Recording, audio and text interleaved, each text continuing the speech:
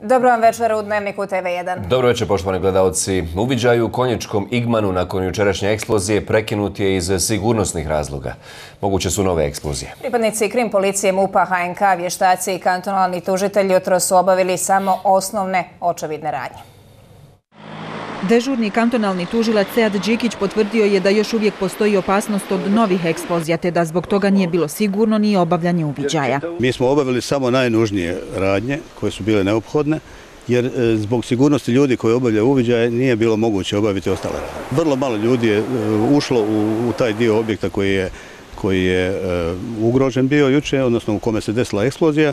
Zbog toga se još uvijek ne može govoriti o uzrocima nesreće u kojoj je jučer poginuo 49-godišnji radnik Mustafa Mujala. Potvrđeno je jedino mjesto eksplozije. Tokom uviđaja e, smo mi ustanovili da je nastala eksplozija u ovim magacinima, kako je to juče ovaj, saopšteno. Postoji mogućnost da zbog visoke temperature u objektu da eventualno može doći do još neke situacije koja je opasna, zbog toga je prekinuto, a stručnjaci kažu da treba još sačekati. Prestanak opasnosti proglasit će stručnjaci protiv požarne zaštite koji su je i ustanovili. Tek tada će se saznati i više detalja o ovoj nesreći te njenim uzracima.